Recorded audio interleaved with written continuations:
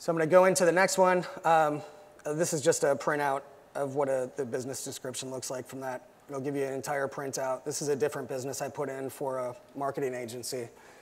Uh, but we're going to hop into ChatGPT real quick for those of you that have not heard of it, and I'll try to blow this up a little bit if you can read that better. So ChatGPT is, um, it's like the internet many years ago. For, for those of you that wish you could go back in time in a capsule and take advantage of that when it all happened, which I do too, this is the next chance. And quite honestly, I think this is way more powerful than when the internet hit. So right now, ChatGPT is updated until uh, 2021, I believe. Now it has the capabilities of giving information that's completely current to today because it integrated with Bing search. But it takes all the data out there and it acts as a mentor.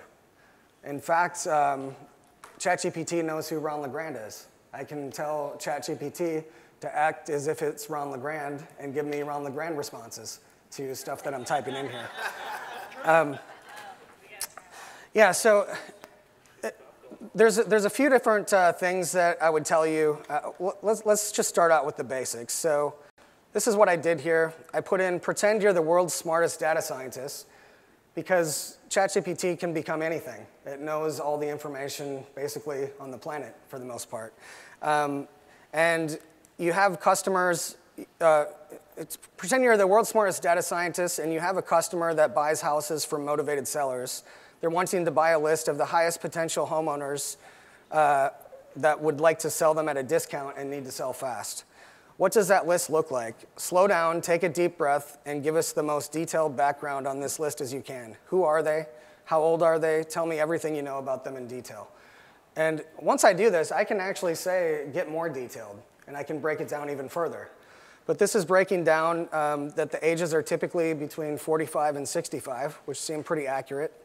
Um, it gives me the um, income level. So uh, middle income folks, we're talking about people who've worked hard all of their life and maybe haven't caught all the breaks. They need cash and they need it fast. Marital status is a mix, but you'll find a lot of divorced or widows and widowed individuals. Their lives take a turn and they're looking to simplify fast.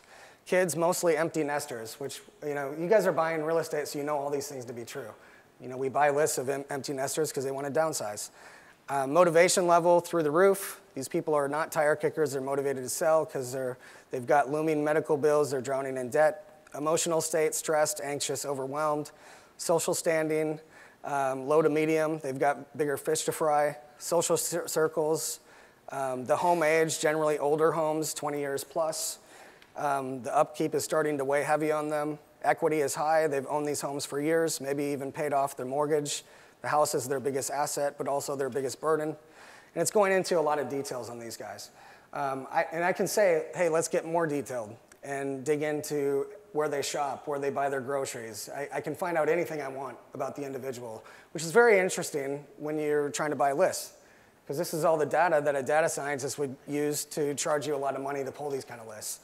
Um, if I were to buy a list of these people from a data company, give me the list of the criteria I'd ask for when buying the list. So here's more of a bulleted um, list of that person with the demographic uh, criteria, the psychological factors, the property specifics, the social factors, the geographic criteria, the financial stress indicators, additional filters.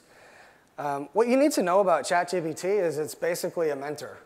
So all the questions that you have, if you need a calculation, ChatGPT can give you a calculation. If they know that you're trying to buy stuff with a Mayo formula, they, you can upload the data, which now, and I'll show you in just a moment, you can actually up to, upload uh, documents on the property. It'll look through everything and tell you exactly what to do.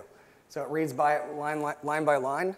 If you're buying commercial property, it'll go through the entire analysis of the property, financial statements, everything, and be your financial advisor.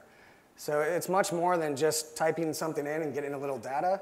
This has grown into something amazing, which I'm, I'm about to show you guys what level uh, ChatGPT has gone to. Um, so let's craft a letter that grabs the attention of these people. It'll write me a, a letter here. So dear homeowner, ever feel like your house is more of a burden than a home? Like every room is a, uh, is a reminder of what it used to be, echoing the memories, but not much else? You're not alone, and I'm writing this letter not just as someone who can buy your home, but as someone who can set you free. Imagine waking up tomorrow with no looming mortgage, no oppressive utility bills, and zero maintenance stress. Picture yourself debt free, your bank account buoyant, and your life uncluttered. How's that for transformation? My name is your name here. I specialize in helping homeowners like you escape the emotional and financial quicksand that's pulling you down. But I'm not just any buyer. I'm the guy who makes you walk away with a deal that feels like daylight after a long, dark night. And it goes on and on. Why sell to me?